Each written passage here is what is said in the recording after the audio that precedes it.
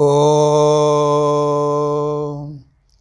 सहनावतु सहनौ भुनक्तु सह वीर्यं करवावहै तेजस्विनावधीतमस्तु मा विद्विषावहै।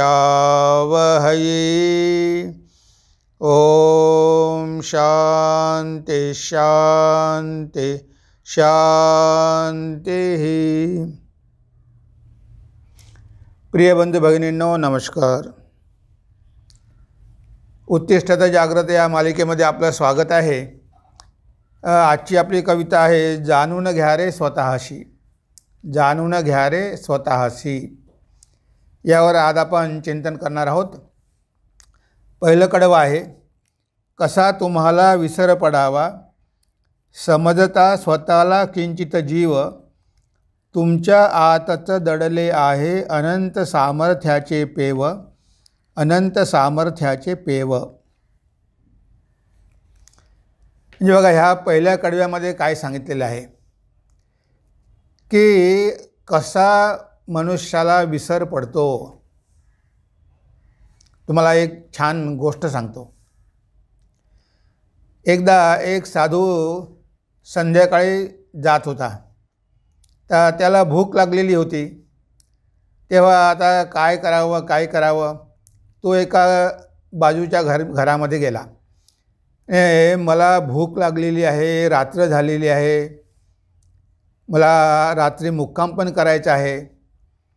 तेव्हा ते गरीब दाम्पत्य होतं. ते म्हणले की या महाराज काही हरकत नाही. ते महाराज त्या घरी गेले छानपैकी जेवण केलं. संध्याकाळी त्यांची झोप झाली छान त्यांना रूम दिली एक. झोपले. सकाळी स्नान करायला बाथरूममध्ये गेले. त्यांनी स्नान वगैरे आटोपलं आणि तिथे एक दगड ठेवलेला होता. त्या दगडावर त्यांनी कपडे धुतले.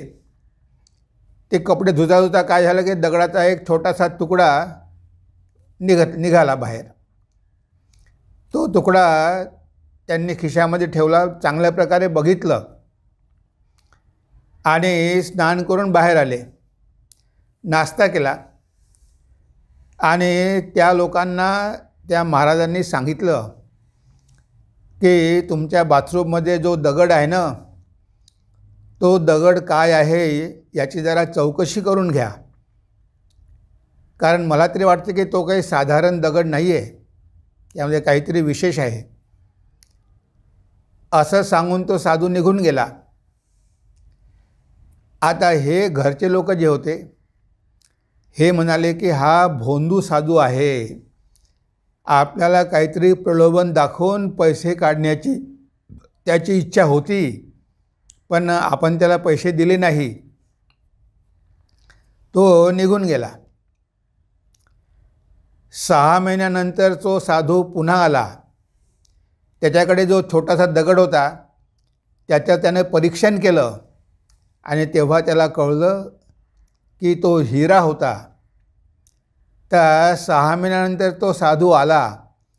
त्याला बघून ह्या लोकांना वाटलं की आता पुन्हा तो बोंधू भोंदू बाबा आपल्या घरी आलेला आहे. आता आपल्याला तो फसवणार आहे. अशी त्यांची समजूत झाली. काय म्हणे महाराज? काय सेवा करू आम्ही? अच्छा तुम्हाला मी सहा महिन्यापूर्वी सांगितलं होतं की तुम्ही तो दगड तपासून बघा. तुम्ही केलं का तसं? महाराज म्हणे आम्हाला अशा प्रकारची प्रलोभनं कशाला दाखवता? तो दगड आमच्या घरामध्ये पन्नास वर्षापासून आहे. माझे आजोबा होते माझे वडील होते आता मी राहतो. त्या दगडावरच आम्ही कपडे धुतो त्या दगडावरच सगळं करतो. त्या दगडामध्ये काहीही नाही आम्हाला माहिती आहे. आणि तुम्ही उगीच आम्हाला प्रलोभन दाखवून फसवत आहात. आता तो साधू बिचारा काय करणार? आणि अच्छा त्या दगडाचे जर मी तुम्हाला दहा हजार रुपये दिले तर मला द्याल का? हां म्हणे घेऊन जा. दहा हजार रुपये आम्हाला द्या तो दगड घेऊन जा. दहा हजार रुपये त्यानं दिले तो दगड घेतला तो साधू निघून गेला. तो साधू निघून गेला आणि ह्या लोकांना वाटलं की काय दगड? कमीत कमी आपल्याला दहा हजार रुपये तरी मिळाले. इतके दिवस तर आपण त्याचा काहीच वापर करत नव्हतो. तो गेला आठ दिवसानंतर परत आला. आणि आठ दिवसानंतर त्या साधूने त्या लोकांना दहा कोटी रुपये दिले. आता ते दहा कोटी रुपये बघून यांचे डोळेच फिरले. आणि महाराज हे काय आहे? ही म्हणे सगळी तुमची संपत्ती आहे. तो दगड नव्हता तो हिरा होता. मी तुम्हाला सांगितलं तुम्ही चौकशी करा. तुम्ही काहीही केलं नाही. पण जेव्हा कपडे धुताना त्या दगडाचा छोटासा तुकडा तुटला तो चमकत होता. मला संशय आला. म्हणून मी तुम्हाला सांगितलं की त्या दगडाची परीक्षा करून घ्या. पण तुमचा काही विश्वास बसला नाही. मग मी त्या छोट्याशा दगडाची परीक्षा केली आणि मला कळलं की तो हिरा आहे. मी तो दगड घेऊन गेलो त्या जवाहिराकडे त्यानं चांगला त्याला चमकवून दिला आणि त्याचे दहा कोटी रुपये दिले. हे दहा कोटी रुपये तुमचे आहे. तुम्ही आता इथे छान घर बांधू शकता. आता बघा इतके दिवस ते गरीब कुटुंब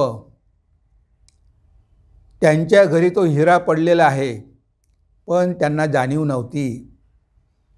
आता दहा कोटी रुपये आले छान बंगला झाला गाडी झाली. म्हणजे गरीब मनुष्य एकदम श्रीमंत झाला. पण त्या साधूनं सांगितलं त्यावर त्यांचा विश्वास बसला नाही. त्यांना वाटलं की हा काहीतरी फसवतो आहे. आता आपल्यामध्ये आणि त्या माणसामध्ये काहीही फरक नाही. आपल्याला किती संत सांगतात शास्त्र सांगतात सगळे सांगतात की तुम्ही जीव नाही तुम्ही साधारण नाही तुमच्या आतमध्ये सामर्थ्याचं पेव आहे धनाचं पेव आहे सगळं काही तुमच्या आतमध्येच आहे. तुम्ही स्वतःला हे क्षुद्र शरीर आणि मन का समजता? आपल्याला वाटते की हे लोक काहीतरी आपल्याला फसवत आहे.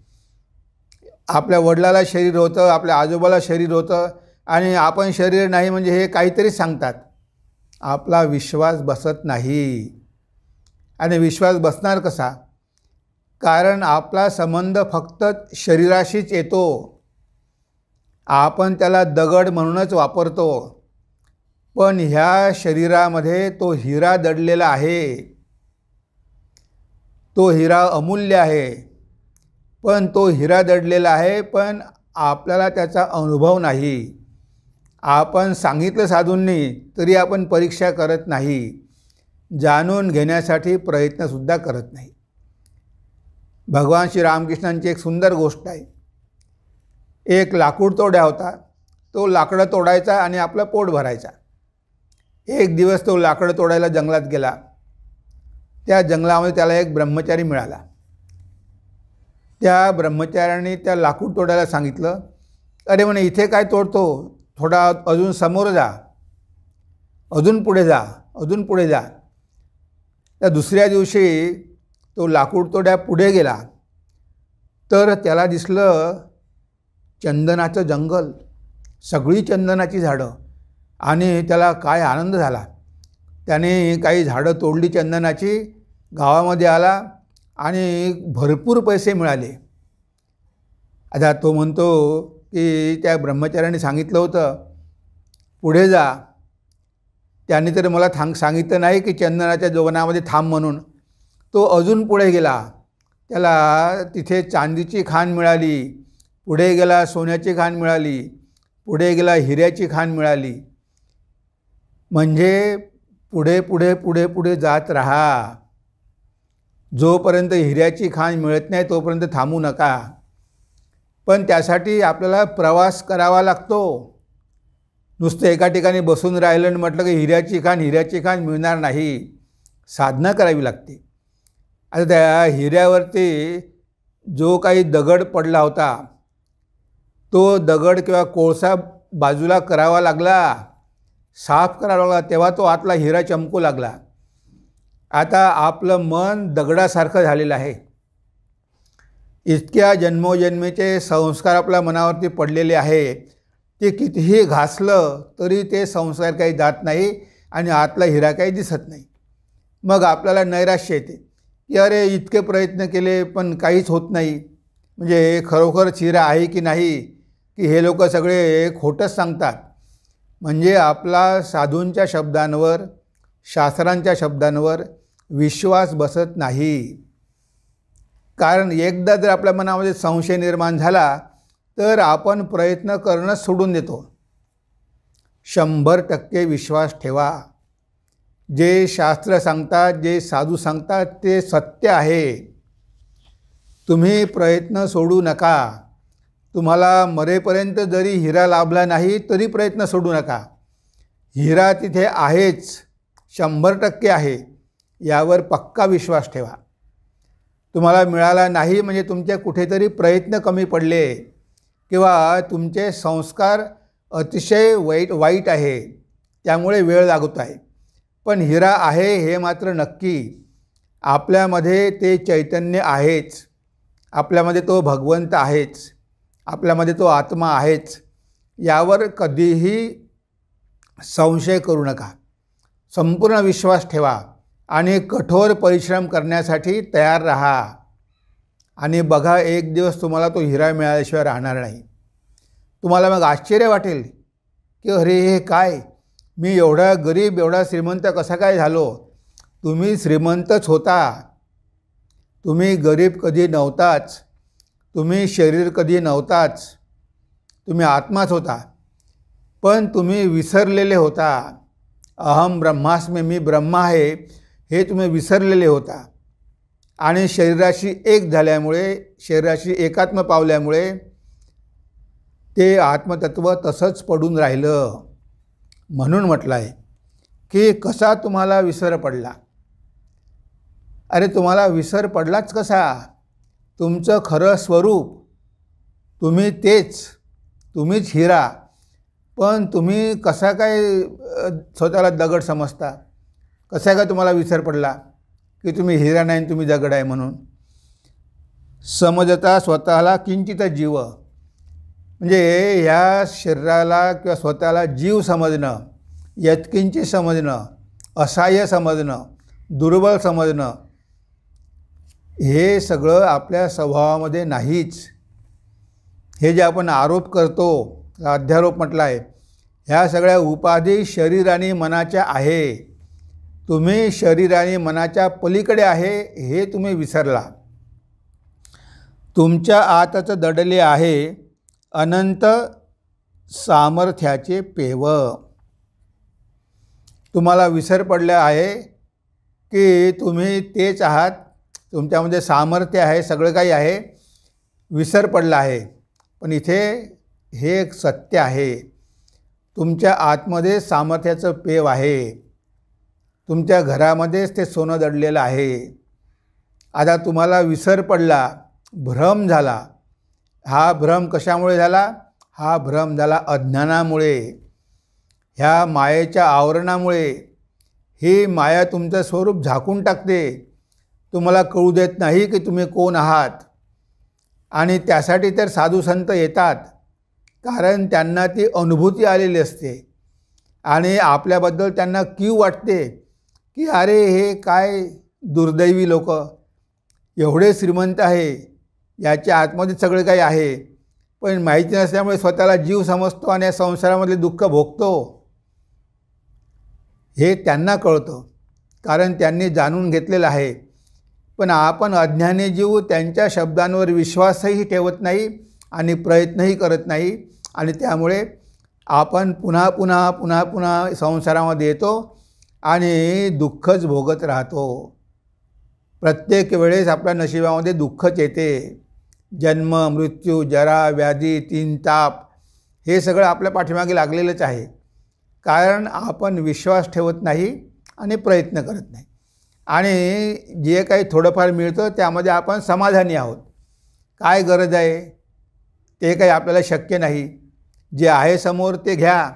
हेही गेलं आणि तेही गेलं.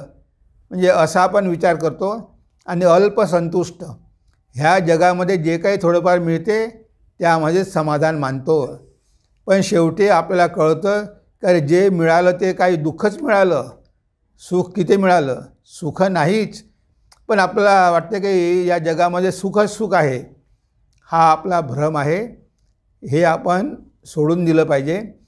आणि आता विसर न पडता आपण सत्य जाणून घेण्यासाठी प्रयत्न केले पाहिजे. शासक तुम्ही सर्व जगाचे तुमचा ब्रह्मची असे स्वभाव. पापी नसे तर पवित्र आम्ही बाळगा सदा मनी हा भाव बाळगा सदा मनी हा भाव. तुम्ही ह्या जगाचे शासक आहात. कारण ब्रह्मच एकमात्र खरं आहे. हे सगळं जे काही दिसते ते काही सत्य नाही. तो आभास आहे. ते प्रतिबिंब आहे. ते भासमान आहे. आता तुम्हाला पाण्यामध्ये सूर्य दिसतो. आता त्या पाण्यामध्ये दिसलेला सूर्य खरा आहे का? ते सूर्याचं प्रतिबिंब आहे. आपल्याला वाटते की तो खरा सूर्यच आहे. आता तिथे आपल्याला सूर्याचं प्रतिबिंब का दिसते? कारण तिथे पाणी आहे म्हणून. ते पाणी जर तिथलं सुकलं आटून गेलं तर तुम्हाला ते सूर्य दिसणारच नाही. तसंच आपलं शरीर आणि मन हे त्या पाण्यासारखं आहे. ह्या पाण्यासारखं असल्यामुळे त्या ब्रह्माचं प्रतिबिंब इथे पडत आहे. हे सगळं प्रतिबिंब आहे हे खरं नाही. दिसते तसं नसते. जरी आपल्याला दिसते पण हे खरं नाहीच. हे शरीर आणि मन गेलं की मग कुठे राहिला मी? हा मी गेलाच. पण ही शरीर मनाची उपाधी ज्या ठिकाणी आहे त्या ठिकाणी ते ब्रह्म प्रतिभासित होते. त्याचं प्रतिबिंब पडते. आणि आपल्याला हे प्रतिबिंबच खरं वाटतं. कारण त्या डबक्यामधलं पाणी सुकू शकते. पण हा शरीर बोध काही केला जात नाही. कारण हे एकच शरीर नाही हे स्थूल शरीर आहे याच्या आतमध्ये सूक्ष्म शरीर आहे त्याच्या आतमध्ये कारण शरीर आहे या तीनही शरीराचा नाश झाल्याशिवाय ते ब्रह्मतत्व प्रकाशित होणार नाही. आता स्थूल शरीर तर आपण बघतो पण सूक्ष्म शरीर आपण बघू शकत नाही. त्यामध्ये त्यामध्ये पाच कर्मेंद्रिय पाच ज्ञानेंद्रिय पाच प्राण पंचप्राण मन आणि बुद्धी असा सतरा घटक आहे. हे सतरा अवयवाचं मिळून झालेलं आहे सूक्ष्म शरीर. आणि त्याच्यामागे कारण शरीर म्हणजे आपले जन्मोजन्मीचे संस्कार. ते सगळे तिथे पडलेले आहे.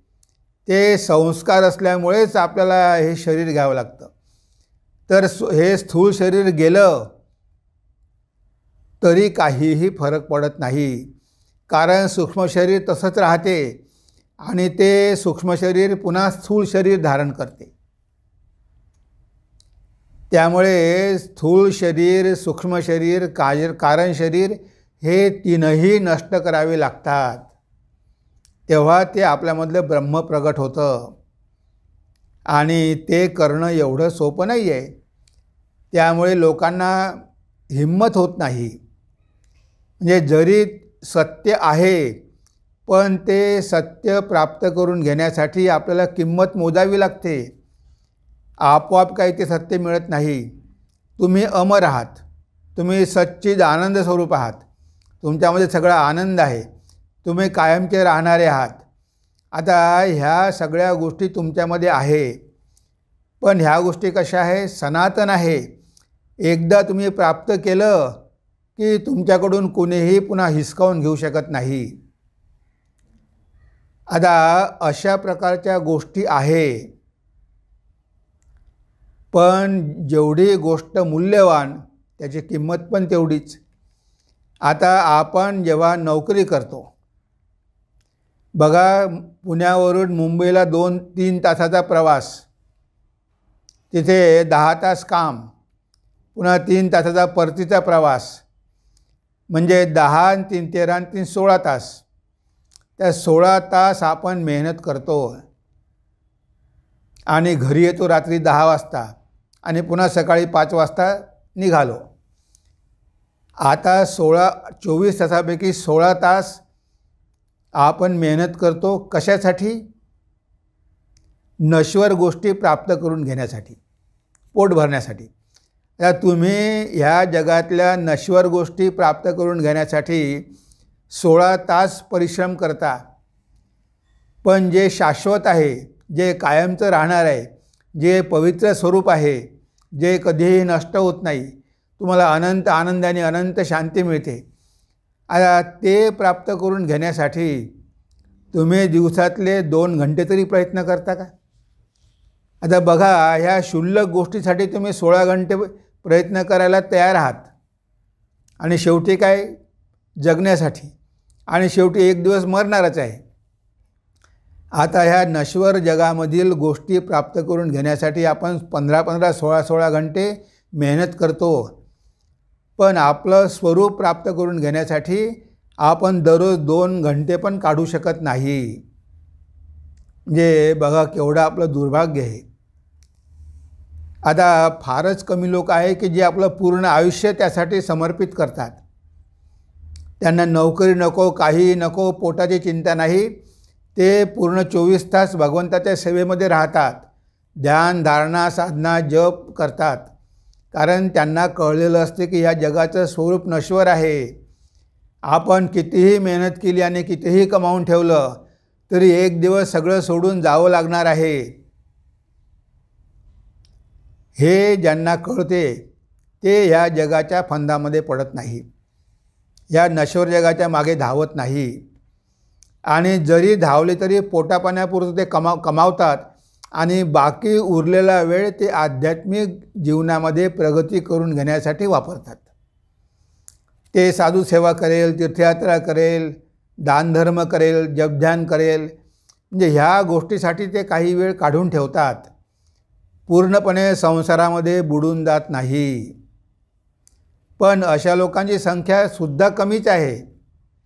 पूर्णपणे आपला वेळ ह्याच कार्यासाठी देणं मोक्ष लाभ करण्यासाठी देणं असे तर फारच कमी आहे.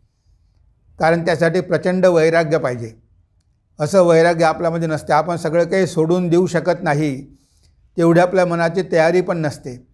काही थोडेच लोक संन्यासी होतात. कारण त्यांना कळलेलं असते की हे सगळं नश्वर आहे याच्या मागे जाऊन काही उपयोग नाही. जे सत्य आहे त्या सत्याच्या शोधासाठी आपलं जीवन आपण समर्पण केलं पाहिजे. त्यामुळे ते पूर्ण वेळ त्यासाठी देतात. पूर्ण आयुष्य त्यामध्ये घालवतात. आणि त्यांना ते सत्य प्राप्त पण होते. काही लोकांना पूर्ण वेळ देता येत नाही. तर गृहस्थ आहेत. ते आपला संसार करून त्यामधून सुद्धा वेळ काढून ह्या सगळ्या गोष्टी करण्याचा प्रयत्न करतात. ते काही वाईट नाही. आता संपूर्ण वेळ देणारे लोक फार कमी आहे. आता आपला संसार सांभाळून सुद्धा ते प्रयत्न करतात. पण काही लोक असे आहे की घोर संसारी संपूर्ण वेळ संसारासाठीच देतात आणि या संसाराला इतके आसक्त होतात की त्यांना भगवंताचं स्मरणच राहत नाही. आपण एक दिवस मरणार आहो हे त्यांना कधी कळतच नाही. त्यामुळे त्यांना जीवनामध्ये दुःखच भोगावी लागतात. तर बघा हे एक एवढं मोठं आश्चर्य आहे की आपण पवित्र स्वरूप आत्मा आहोत आपण चैतन्य स्वरूप आहोत पण आज आपण स्वतःला क्षुद्र जीव समजतो. हे जीवत्व आलेलं आहे. हे जीवत्व कशामुळे आलेलं आहे? आपल्या अज्ञानामुळे. आणि हे खरं आहे का? हे खरं नाही. हे भासमान आहे. हे दिसते. पण कधी जाईल काही भरोसा नाही. म्हणून आपण सावध राहिलो पाहिजे आणि या जगामध्ये ह्या जगाच्या बंधनाच्या बाहेर पडण्यासाठी ह्या जगाचा पिंजरा तोडून फोडून बाहेर पडण्यासाठी आपण तयार राहिलो पाहिजे. शासक तुम्ही सर्व जगाचे तुमचा ब्रह्मची असे स्वभाव. पापी नसे तर पवित्र आम्ही. बाळगा सदा मनी हा भाव. बाळगा सदा मनी हा भाव. स्वामी विवेकानंद म्हणायचे ना त्यांनी त्यांच्या व्याख्यानामध्ये अमेरिकेत म्हटलं होतं तुम्ही पापी मनुष्याला पापी म्हणणं हेच पाप आहे. तुम्ही तर अमृताचे अधिकारी तुम्ही ईश्वराचे पुत्र तुम्ही पापी कसे होणार? म्हणजे हे आपल्या स्वरूपाबद्दल स्वामीजींनी सांगितलेलं आहे. सगळेच सांगतात. आणि तरीसुद्धा आपण स्वतःला क्षुद्र पापी दलित हे असं सगळं समजतो.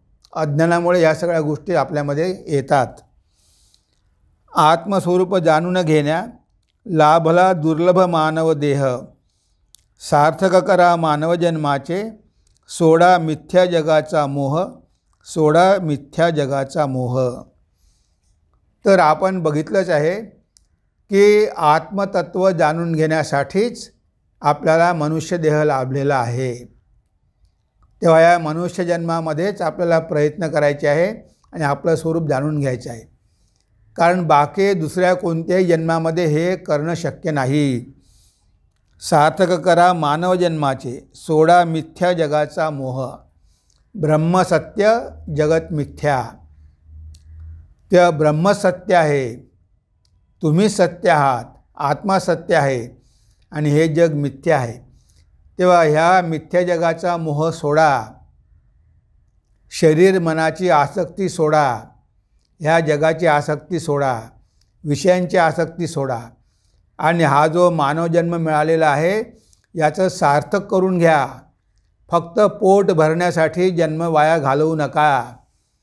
पशु पक्षी पण जगतात. सगळेच जगतात. पण जगणं हाच काही जीवनाचा उद्देश नाही.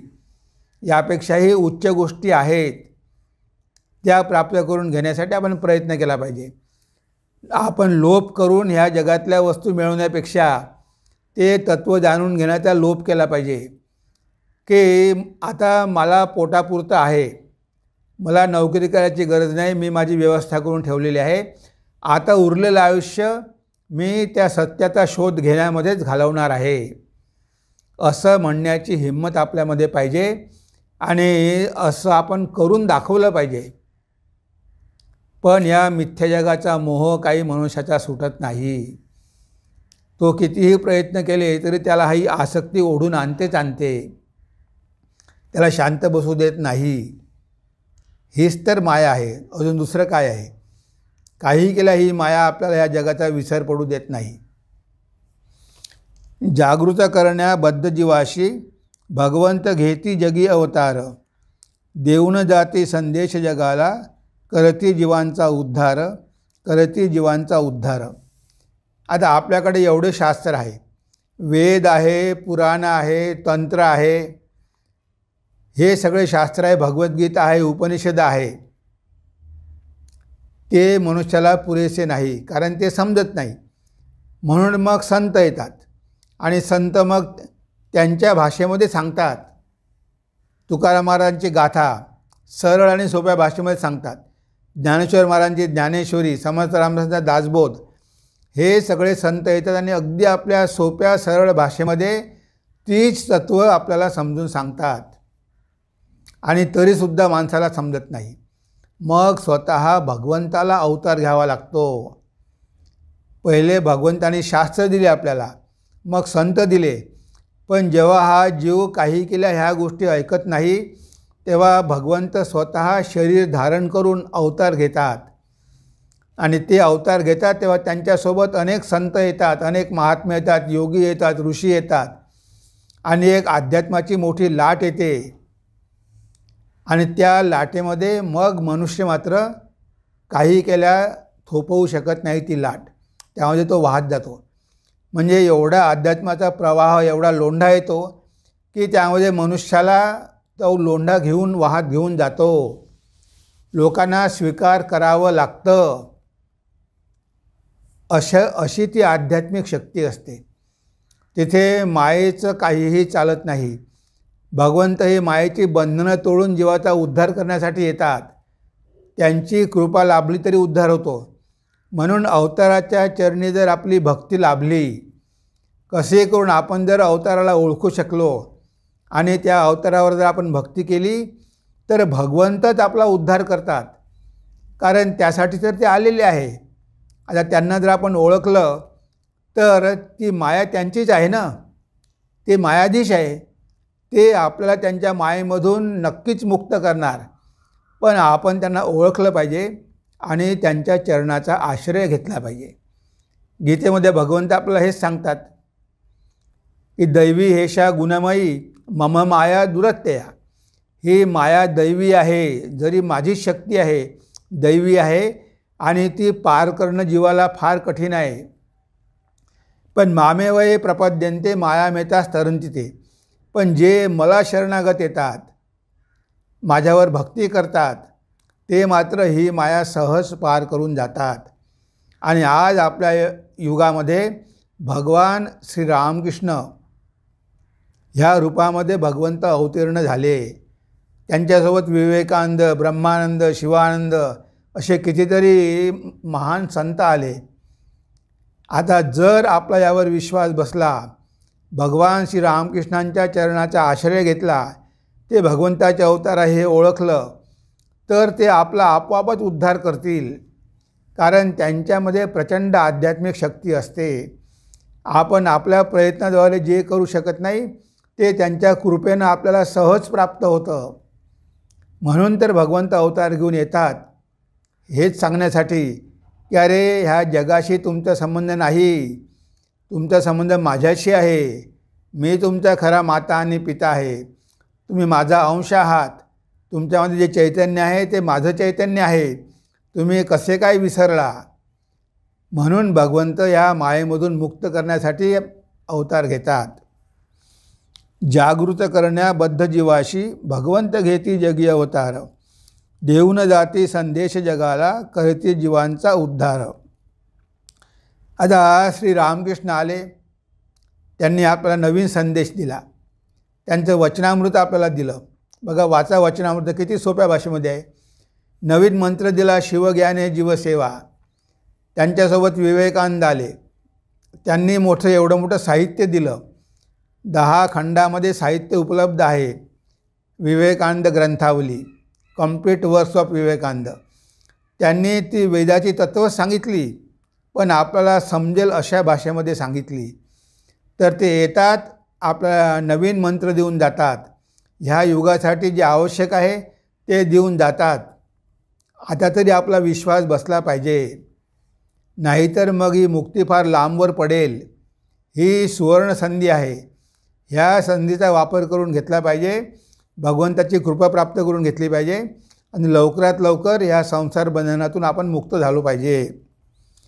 ऋषी मुनी आणि संत सांगती सत्य सनातन आवर्जुन. जागे व्हारे तोडूनी बंधन त्यातची तुमचे कल्याण त्यातची तुमचे कल्याण. तर ऋषी मुनी संत सगळे सांगतात सत्य सनातन आवर्जुना. ते सनातन सत्य आपल्याला हे सगळे सांगतात. जागे व्हारे तोडूनी बंधनं. आता तरी आपण ही मोहनिद्रा सोडली पाहिजे. आता तरी आपण जागं झालो पाहिजे.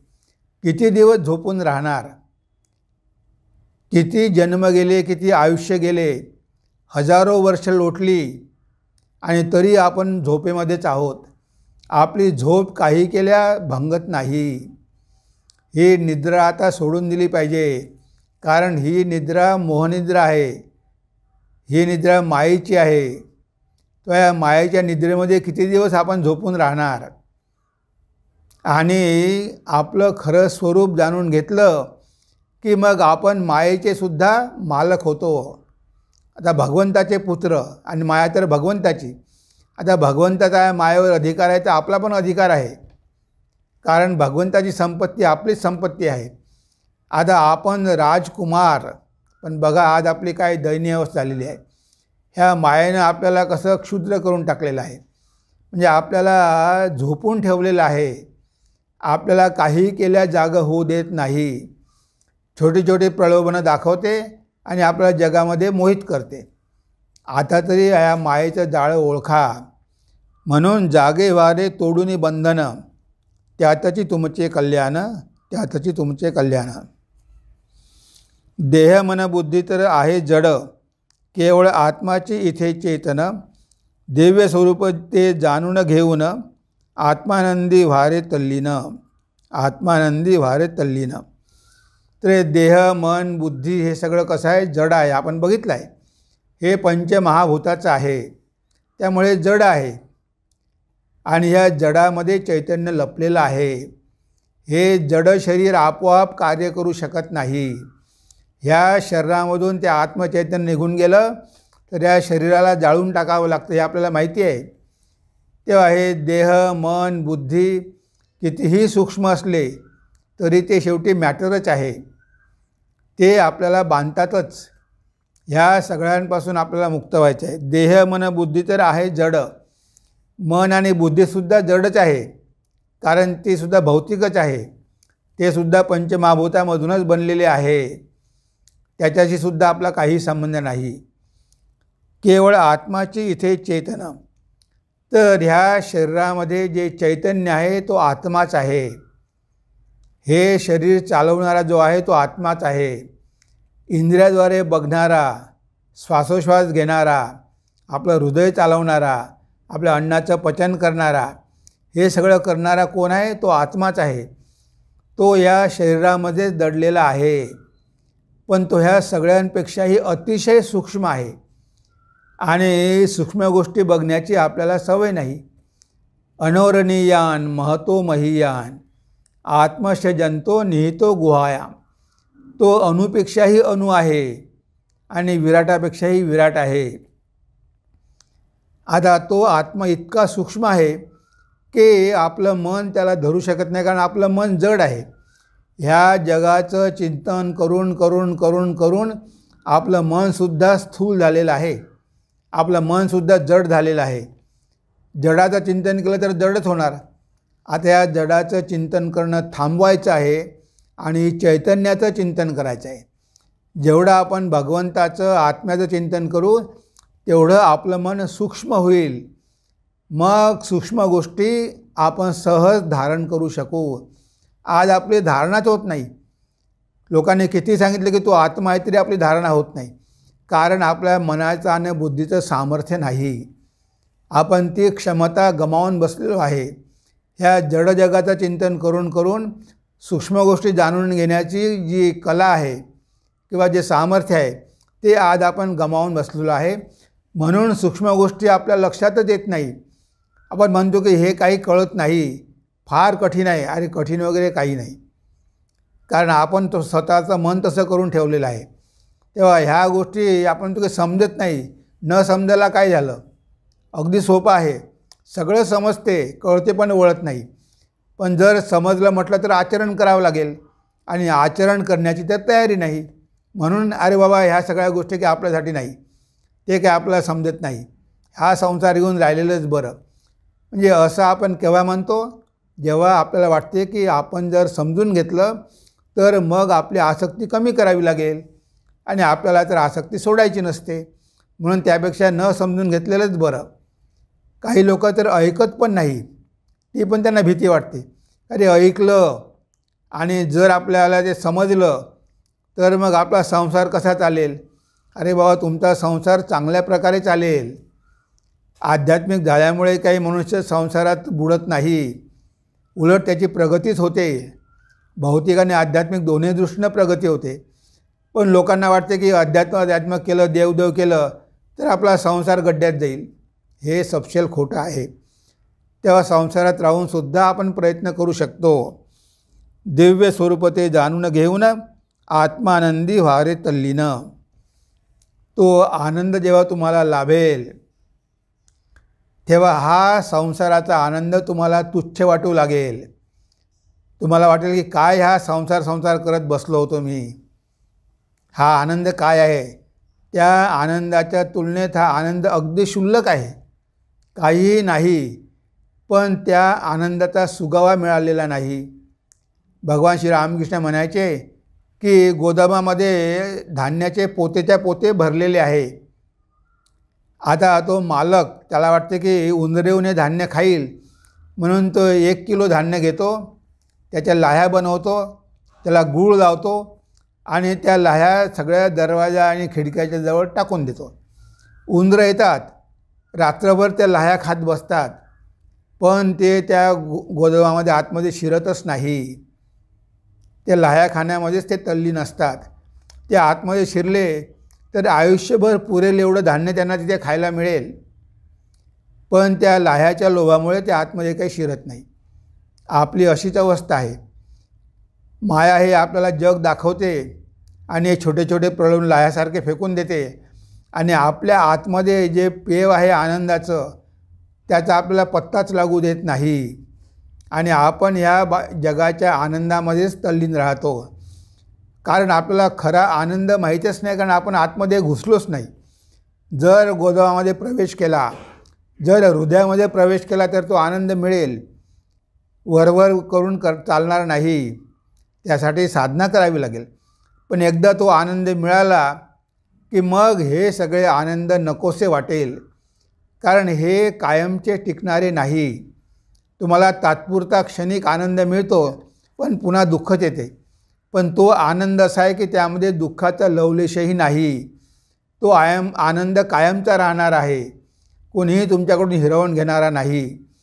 त्यामुळे त्या आनंदाचा आस्वाद ज्यांना मिळाला ते आत्मानंदामध्ये नेहमी तल्लीन राहतात. ह्या जगाचं भान त्यांना नसतं. या जगाचं भान ते विसरून जातात आणि त्यांना दुःख कधीही स्पर्शही करू शकत नाही. आनंदाच्या डोही आनंद तरंग. तुकाराम महाराज म्हणतात तर अशा प्रकारचा आनंद प्राप्त करून घेण्यासाठी आपण प्रयत्न केले पाहिजे आणि त्या आनंदाचं पेव आपल्या आतमध्येच आहे. ते शोधायला पाहिजे. हा खोटा भ्रम सोडला पाहिजे. ह्या खोट्या जगाचा मोह सोडला पाहिजे. तरच आपण आपल्या जीवनाचं ध्येय प्राप्त करून घेऊ आणि तेव्हा मग आपल्याला आश्चर्य वाटेल की अरे आपल्याला विसरच कसा पडला होता? आपण एवढे मोठे आहोत एवढे विशाल आहोत हे आपण कसं विसरलो होतो? हे तेव्हाच कळेल जेव्हा झोपेमधून आपण जाग होऊ तेव्हा. जोपर्यंत झोपेमध्ये आहोत तोपर्यंत आपल्याला आपला महिमा कधीही कळणार नाही.